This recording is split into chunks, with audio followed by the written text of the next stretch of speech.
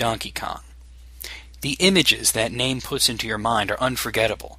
Whether it's the classic arcade games or the great platformers that came later, there's just something about this big ape that everyone likes. As I prepare for my big DK feature, I'd like to just talk a little bit about the game, the character, and his legacy. Donkey Kong was more than just an addictive arcade game.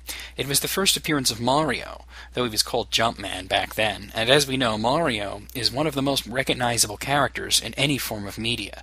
More kids today are likely to recognize Mario than they are to recognize Mickey Mouse.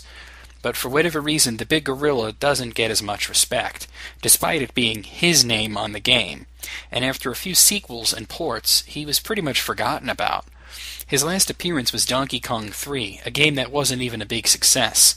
However, his son, Donkey Kong Jr., would go on to gain a lot of fame.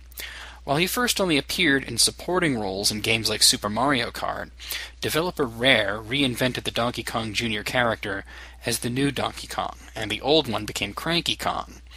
Their Donkey Kong Country series, or Super Donkey Kong, depending on where you live, finally gave the character a chance to shine, and in some ways, the popularity of his games rivaled Mario for a while.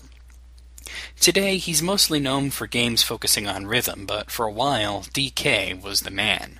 Or the primate, I guess.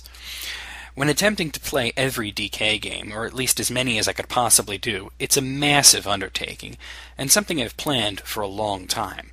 I want to be as thorough as humanly possible, but I don't want to be too redundant, so with the early arcade games, I'll be doing a full video for each original arcade version, while combining the videos of the ports where I can.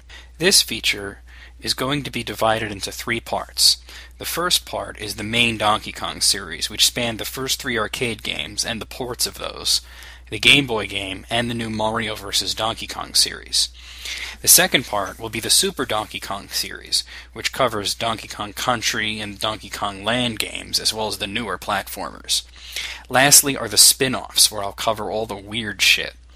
Lastly, as a bonus, I'll do a playthrough of the classic mode of Super Smash Bros. Brawl, playing as Donkey Kong. So I hope you will enjoy the big DK feature.